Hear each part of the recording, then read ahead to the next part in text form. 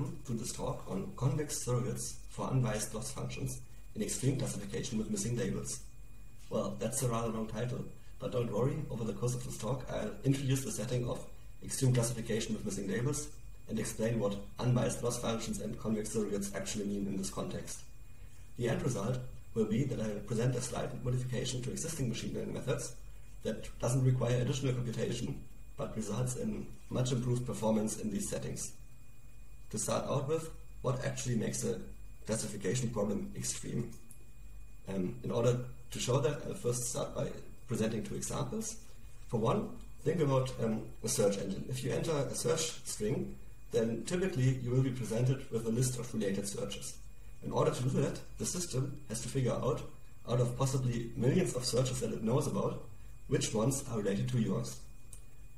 Similarly, think of um, you have just written a Wikipedia article and now would like to have it automatically sorted into different categories.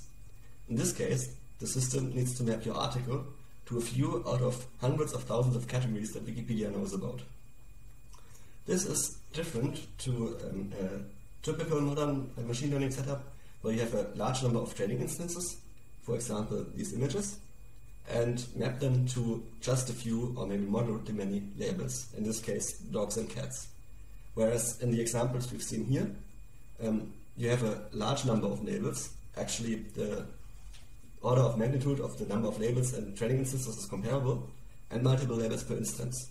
And if you, for example, look at the Wikipedia article of the web conference, it has labels such as computer networking conferences, so very specific labels. And this leads to some additional challenges in training. If the labels are so specific, then that means that there are only very few training instances that actually have this label as positive. Um, and in fact, if you look at here two data sets and the distribution of training, training examples for labels, you'll notice that um, most labels actually have less than 10 positive training examples. So there's very little data available to learn for these labels. This problem is exacerbated by the fact that labels may be missing. How does that happen? Well, think about um, the Wikipedia example. You've just written the article, and now um, you manually assign it to categories. What you do is um, you can't go through all of the hundreds of thousands of possible categories and check them all. So you have to um, think of a small list of things that you are judging to be relevant. As a result, the ones you've written down are pretty likely to be correct since you've actually thought about it. But there's um, quite some chance that there might be in the hundreds of thousands others that would also be relevant to your article, which you just haven't thought about. So in that sense, you get missing labels. More formally, we um, think about um, having two variables to describe the labels. Y star, which are the true labels, which is what you get if you actually had the time to go through all of the labels and make a judgment of whether it's relevant or not. But these you don't have available for training. You only have Y, which are the observed labels which may contain errors, such as this one here. But the errors aren't completely random, but structured, in the sense that um, we assume that we know that if the label is in the true labels, there's a fixed known probability p called propensity that we observe it, and if the label isn't in the true labels, it also doesn't appear in the observed labels, so you don't invent any new labels in the um, data labeling process. With this um, model, we can then start looking at what we have to do to make learning possible in this setting. And this is why we need unbiased loss functions. If we actually had the true labels, what we would do is we would take the data, put it through a classifier to get some prediction, um, and compare this prediction with the true labels using a loss function, which has large values if the prediction is wrong and low values if it is correct and then we would try to adjust the classifier in such a way that the loss function is minimized, for example, using gradient descent. Unfortunately, we don't have the true labels. So what we can do is put in the observed labels in the loss function, but this gives us wrong results. So that's not what we want to do. Instead, we want to figure out whether we can construct an adapted loss function so that if we put in the observed labels, the result is still correct. We can't have it be correct for every instance because the observed labels are stochastic, but what we can do is that um, if we repeat the observation process multiple times, in average we get the correct result. Or in other words, that the adapted loss is an unbiased estimate of the true loss function. How does such an unbiased loss actually look like? Um, if you want to look for proof for this, um, this result has actually been known for quite some time in the missing labels literature, given here. Um, but on this slide, I only going to present um, an intuitive explanation of why it looks like this expression here. So think about what happens if the true label is absent. In that case, you are certain to not observe it. So if you just use the original loss function, you're actually doing the correct thing. On the other hand, if the label is there, you may observe either zeros or ones. If you observe a zero, which happens in a fraction of 1 minus p, then you erroneously add this loss term. So in order to get a correct result, we need to subtract it. On the other hand, if we observe a 1, um, this is the only chance to actually use this loss function. Um, we do this only in a fraction p of the instances, so uh, in order to have the correct result, we have to adjust for this subsampling and scale by a factor of 1 over p to get this expression in the end.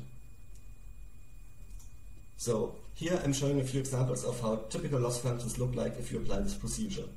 If you've been paying close attention to what I've been telling before, you might notice a discrepancy here. I've said that um, extreme classification problems are multi-label problems, but these are binary loss functions. So why does it work? Um, that is because many multi-label loss functions actually can be written as a sum over binary losses. In that case, the um, linearity of the expectation means that our result is applicable. A second problem you may notice is that these loss functions are actually pretty bad from an optimization perspective because, for example, the last two aren't lower bounded, so they don't even have a minimum. And this is why we need to go from unbiased losses to convex surrogates, which I'll introduce now. So what properties do we want the loss function actually to have to be nice when we want to optimize it? Well, lower boundedness, obviously, so that it is a minimum, but also from an optimization perspective, it is nice to have a convex loss function. Um, for interpretability, it would also be nice if the loss function was non-negative, even though that's not quite as important as the other two properties. Um, unfortunately, all of this is lost if we go to the unbiased setting um, in some cases. So, for example, for the hinge loss, um, this uh, solid red line is the unbiased estimate, and it is not convex because it has a kink here. It is not lower bounded, and it's not non-negative. So, uh, in order to think about um, what to do, um, think about what the hinge loss originally means, or one of the interpretations of the hinge loss. And that is, we started out and wanted to minimize a misclassification error, which is given by the 0-1 loss. But the 0-1 loss is non-continuous, so it's a really hard loss function to optimize for. So in order to get it computationally tractable, we have introduced a surrogate loss, which is a convex function that upper bounds the 0-1 loss. And one example of such a surrogate is the hinge loss. So what if we just turned around the order of operations here? So instead of taking the convex surrogate and making it unbiased, we take the original loss function um, make it unbiased, and only then calculate the convex surrogate. Then by construction, the new loss function would be convex and um, lower bounded. So that would be nice. And that's exactly what we propose with this slight modification that we shift the 0-1 loss upwards a little bit to make sure that um, the resulting loss function is non-negative, just for convenience. And this doesn't have any effect on the optimization procedure since it's a shift by a constant. And what comes out of this procedure is that uh, in order to get the um, new loss function, you just have to multiply um, the loss by 2 over the propensity minus 1 in situations where the label is observed. This isn't quite the end of the story, because if you remember back to the beginning, I was um, mentioning that many of the labels are tail labels. And for tail labels, so for example, if you have 99 negatives and 1 positive, um, misclassification rate might be a bad um, bad goal to optimize for. So if you just predict all negatives, you would still have 99% accuracy, but an obviously bad classifier. And in order to counteract this, we allow for a second factor to be introduced that um, balances um, positives and negatives against one another, which depends on the number of positives and the total number of samples. Now, with this, we can actually start um, thinking about modifying existing machine learning methods. So what we did is we took several different, quite disparate um, existing models and just replaced the upper bound on the zero-one loss that was there with the upper bound on the convex, uh, upper bound on the unbiased zero-one loss we've derived in the previous slides. And for that we took a shallow model DiSMEC and two deep models, attention XML, which also has a tree component, and APLX, APLC XLNet. Uh, in order to apply our method, we also need some model for the propensities and for the um, weighting of the tail labels. And these are taken from existing literature, and you can read up on them in the references given. What we noticed is that in the deep models, naively applying our scheme actually didn't work because the training became unstable. So what we did is um, we introduced a global normalization factor that made all these um, prefactors um, normalized. And this stabilized the training and still gave quite a nice improvement in the classification performance.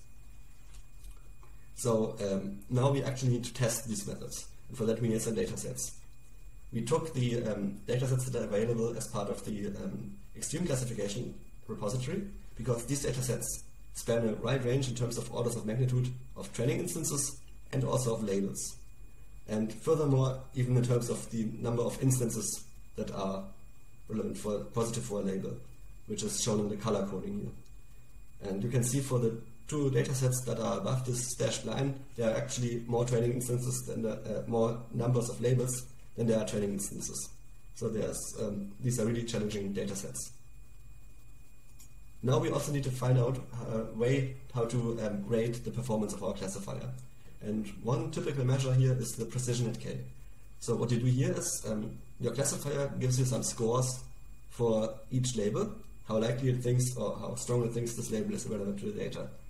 And then you just take the top k scoring elements there and get a binary prediction vector. And in the positive predictions, you look how often you are correct. So in this case, it would be two thirds. Again, we have the problem that um, this is a biased estimate because we have missing labels. So instead of taking uh, average here, we take a weighted average and get the propensity score precision. This is one instance where the um, unbiased estimate has actually been known and used for quite some time in the um, extreme classification community. It is just that the general solution we've presented before seems to have been not widely known. There are a few other metrics that are also interesting um, in this setting, for example, NDCG or its propensity score variant. Um, but you can look at them in the paper. And there's also no clear preference for a specific case. So in the end, each algorithm is classified by a number of, of metrics and like by, by different metrics. So um, that makes comparison a bit difficult. And we would like to have all of them on a single scale. But uh, for example, for P at K, the baseline performance actually depends on K, as you can see here, and also on the data set. So in order to make all of these different metrics comparable, we've decided to calculate the relative improvement over the baseline of the method with the unmodified loss to get a percentage of, of increase or decrease. And this gives us these results. So here the solid lines correspond to the method where we've only inserted the factor for missing labels and the dotted lines if we also um, do class balancing. And you can see that 0 corresponds to the um, original method. So all these methods have resulted in an increase in median performance and typically um, also in a very strong increase. Unfortunately, if you introduce also class balancing, there uh, is an increase in the variance of the results. So there are also some situations where the for a specific metric and dataset combination, the results get worse. So at this point, we can recommend to test both, maybe with a few different type of parameters also, and use cross-validation to select the best one. And then you have a high chance to get a strong improvement and might even get super lucky with the dataset and get a really, really strong improvement. So to summarize this talk, um, we've presented a way to adjust the loss functions in many existing extreme classification uh, algorithms that just introduces two factors that are quickly calculated, so there's no computational overhead here, um, and addresses both imbalance in the labels and missing labels, and results in a nice improvement in terms of classification performance.